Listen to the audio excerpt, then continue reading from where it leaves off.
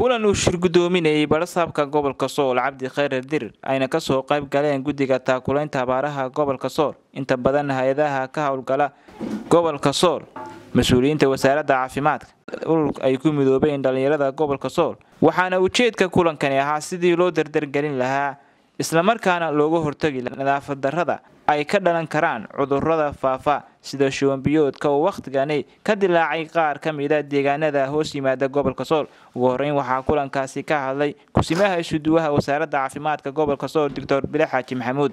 Waxaa shir ka dhacay xarunta maamulka gobolka sool gaar ahaan magaalada laascanood shirkaasoo ku saabsanaa howlaha dardadeelinka nadaafada guud ee gobolka.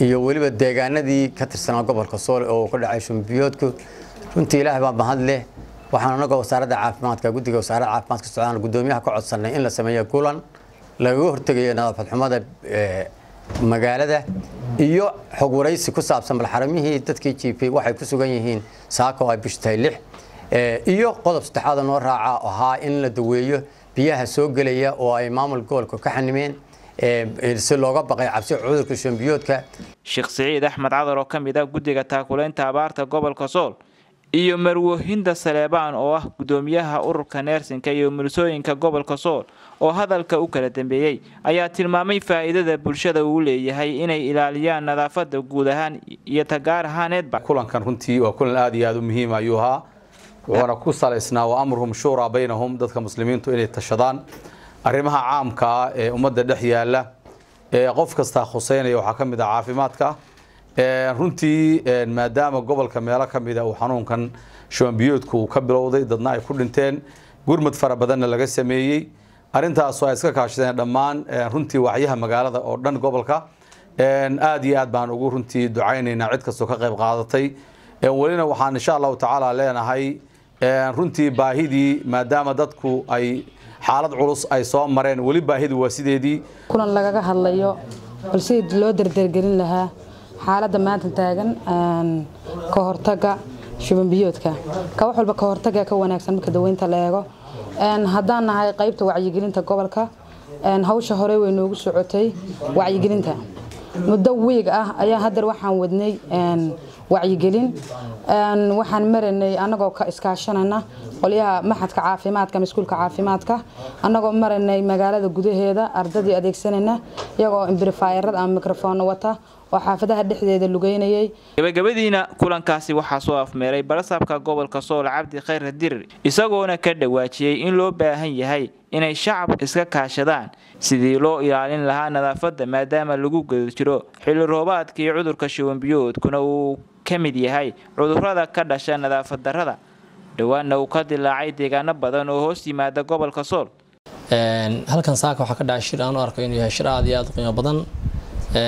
Lagagala hadlayey sidii loo dardargelin lahaa nadaafadda guud ee gobolka iyo degaanka maadaama lagu jiro xilli roobaad.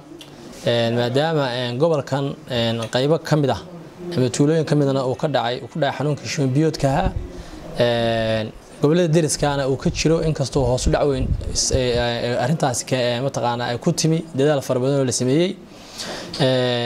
Kadibna waxaanu isugu keennay halkan wasaaraddii caafimaadka ee gobolka hay'adihii gobolka deganaa hadday ay yihiin international iyo hadday yihiin mataqaana hay'adihii ngo-yada local ngoska bahda saxaafadda maamulka gobolka heer gobol iyo heer degmo isuduwayaasha ay qosaysay hawshan iyada ahayd dood dheer iyo falaqayn fara badan iyo wax istusaalayn.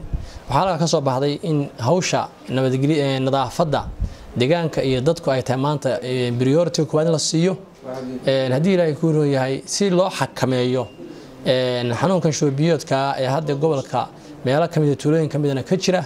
Marka waxaanu sameynay guddiyo saddex guddi oo shaqayn doona oo aanu ka soo xulnay hay'adaha wasaaradda caafimaadka haddii ilaahay roon yahay guddigii taakulaynta abaaraha heer gobol midowgii dhallinyarada qayb ka mid a guddi kale oo dhallinyaro iyaguna iyaguna aada u shaqeeyey oo iyaguna mataqaana wax badan ka qabtay hawshan iyada saxaafadda iyo degmada.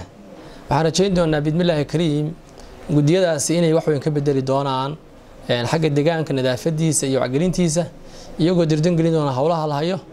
Mawlid cali star t v لا سعنود